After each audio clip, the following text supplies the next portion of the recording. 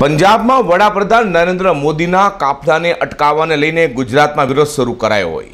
તેમ સુરતમાં કોંગ્રેસ કાર્યાલય બહાર ભારતીય જનતા પાર્ટીના યુવા મોરચા દ્વારા કોંગ્રેસનું પુતળા દહન કરી વિરોધ કર્યો છે. પાંચમી જાન્યુઆરીએ પંજાબમાં વડાપ્રધાન મોદીની સુરક્ષા વ્યવસ્થા સાથે ચેડા થયા હતા.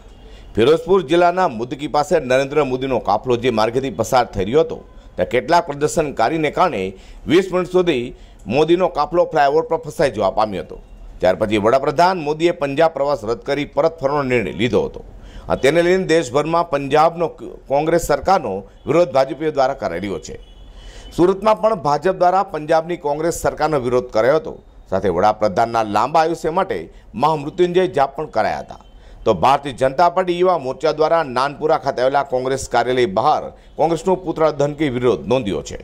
સુરત શહેર જિલ્લા કોંગ્રેસ સમિતિના મુખ્ય કાર્યાલય ખાતે પહોંચી કાર્યાલય બહાર જ ભારતીય જનતા પાર્ટી યુવા મોરચા દ્વારા કોંગ્રેસના પુતળાનું દહન કર્યું હતું, જેને લઈને કોંગ્રેસીઓએ પીછેટ કર્યું હોય તેવા દ્રશ્યો જોવા મળ્યા હતા.